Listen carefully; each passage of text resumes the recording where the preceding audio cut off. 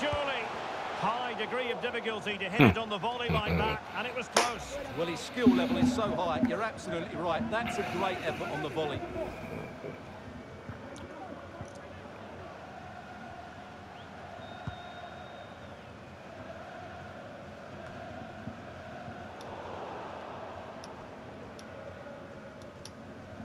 This could be dangerous.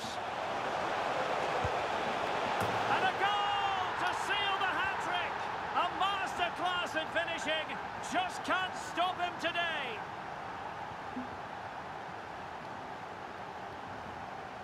I'm on it, man. Seven goals. I think that's the most I've ever scored in a Well, as you FIFA match. see, He gave the keeper no chance there. With looked Messi. so This is his second one today. And he's in Miami. A few hours down the road. Let's go.